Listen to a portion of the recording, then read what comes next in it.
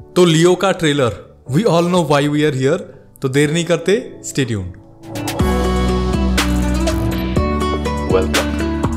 Kibaki.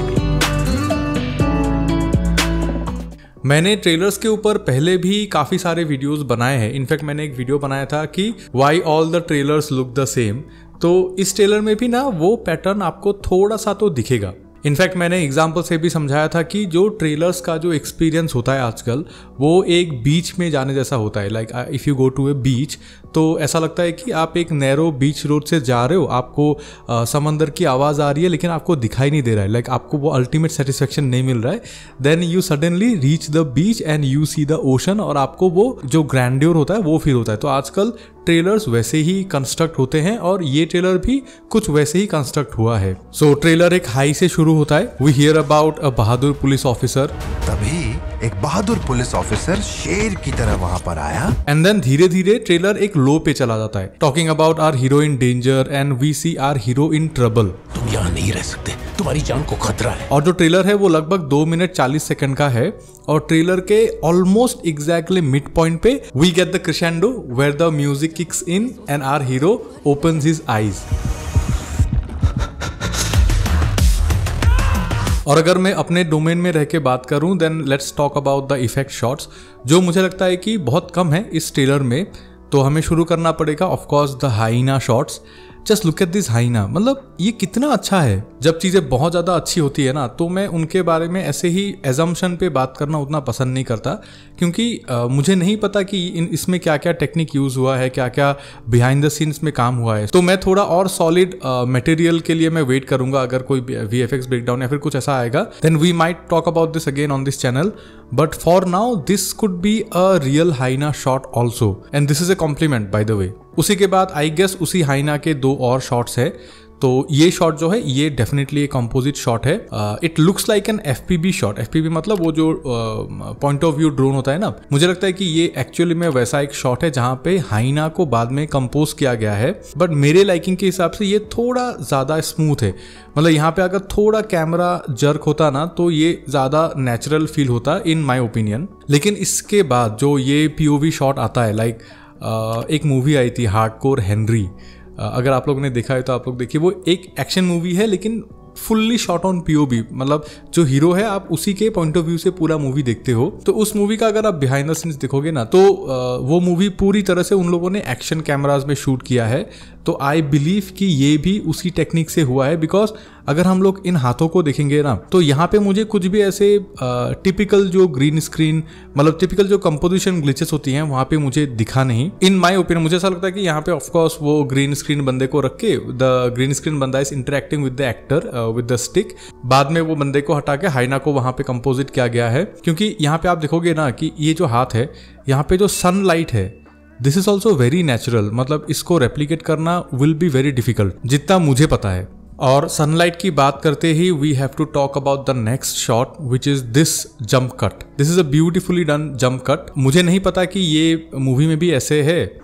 या फिर luckily उनको ऐसे दो शॉट्स मिल गए मूवी से, जिनको इन्होंने ऐसे प्रॉपरली एडिट करके डाल दिया ट्रेलर में विच लुक्स लाइक फ्लॉलेस ऐसा लगता है कि सेम सीन का ही पार्ट है। It almost gives you the illusion की अचानक से लाइट्स ऑन हो गई। और ऐसी ही एक शॉट हम लोगों ने फ्लैश के ट्रेलर में भी देखा था, अगर आपको याद है कि बच्चा वो भाग के आता है एंड वहाँ पे दिन से रात हो जाती है।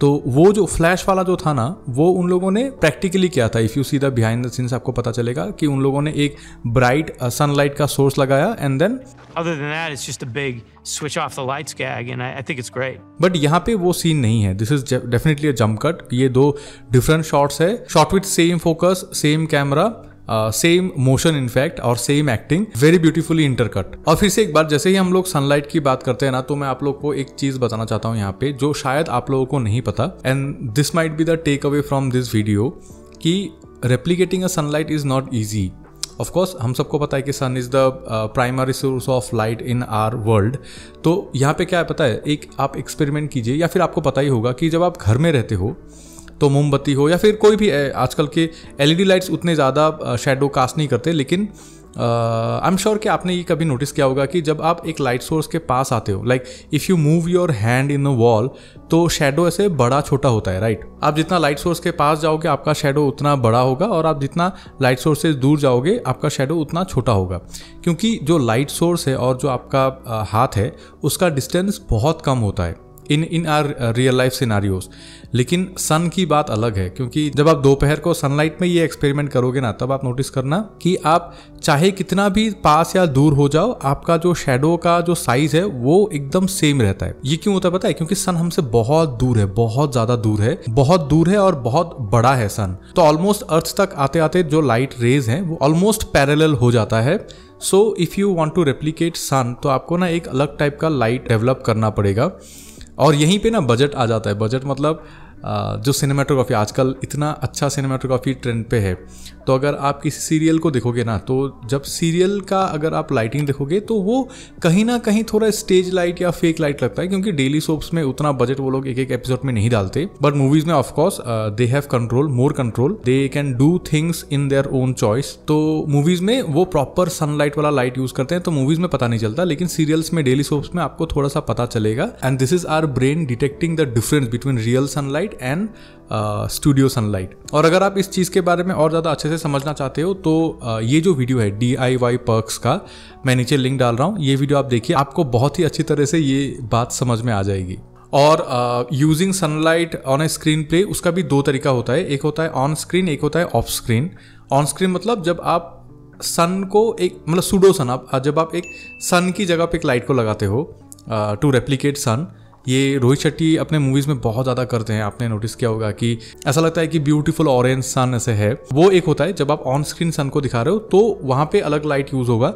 लेकिन जब आप ऑफ़ स्क्रीन सन मतलब आप सन लाइट को रेप्लीकेट कर रहे हो तो वो अलग लाइट होता है of course anyway going back to the trailer कुछ गाड़ियों के शॉर्ट्स भी है and I am sure these are V F X shorts जो मुझे उतने अच्छे नहीं लगे।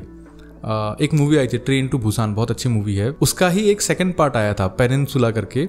उस मूवी में भी काफ़ी सारे गाड़ियों के शॉट्स थे, जो उतने अप टू डा मार्क नहीं थे। बहुत लोगों ने बोला था। तो यहाँ पे भी ना मुझे गाड़ियों के शॉट्स से मुझे वही फील आया।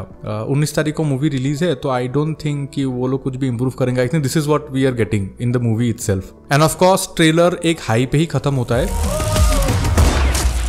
रेस्ट इन पीस यहाँ पे मैं एक चीज़ बोलूँगा जो आपको कहीं भी कोई भी नहीं बोलेगा। जहाँ पे विक्रम अपने वेपन को एक जग देता है बिकॉज़ वहाँ से ऐसे खून टपक रहा है, वो वाला चीज़ है।